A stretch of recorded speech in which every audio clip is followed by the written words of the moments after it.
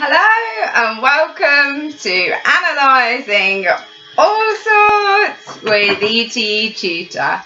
So today what we're having a look at is a poster that I designed to put up in my local area to try and make sure all the young people in Loughborough know about this channel and hopefully will benefit from watching in terms of how well they do with their GCSEs.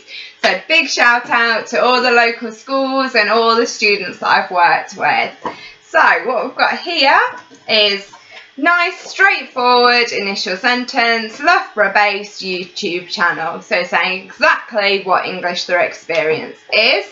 We've got the use of the colon there to introduce key information. And then we've got the name itself, English Through Experience. And then I've used a bullet point list because obviously people are busy, they're out shopping, something just needs to catch their eye and needs to communicate key information quickly and in a very digestible way. So bullet points is helpful for that. So we've got the repetition of this G sound, try and make it a little bit more catchy. Great for GCSE English Literature, GCSE English Language and English Language Learners. So we've got a bit of a tongue twister going on there with the repetition of the G, the E and the L. We've also got a list of three which is catchy and memorable. Any more than that, people do tend to start to switch off.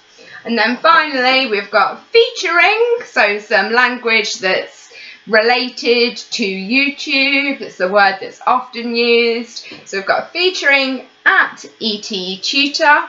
So we've got uh, that representation of English through experience in the Twitter handle, the Twitter name, and obviously the logo to go alongside that, like we've used the YouTube logo up here and then just a little bit more information to try and ensure that people feel confident that this site is going to be reliable.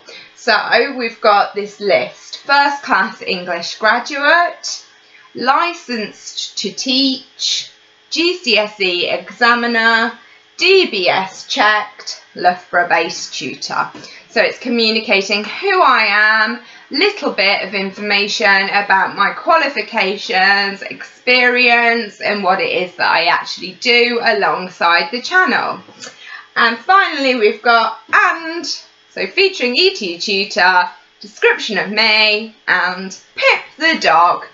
Little tip, if you can throw in something extra of interest to raise curiosity at the end of a text, that can be really helpful we're supposedly a nation of dog lovers, so maybe that little mention of Pip the dog might help draw attention as well.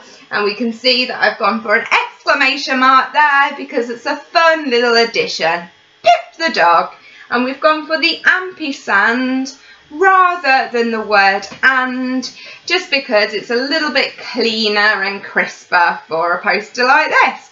Alright then, I hope that's helped and that you're enjoying this analysing all sorts collection. If you haven't checked out the other videos, they're definitely worth a look, especially if you're short on time because some of them are very quick and easy and they're going to help you to recognise language techniques to analyse punctuation like we've done here, to think about the structure of a text, the order in which you want to relay information, all of which you need to do in those transactional and creative pieces. Alright then, thanks for watching and as always, like and subscribe!